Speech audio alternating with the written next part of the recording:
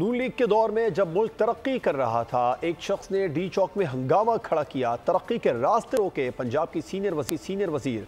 मरी औरंगज़ेब कहती हैं, इनकी बर्बाद की हुई मीशत और खारजा पॉलिसी को वज़ी अजम ने ठीक किया। क्या इनका यह एहतजाज मुल्क की तरक्की के खिलाफ है?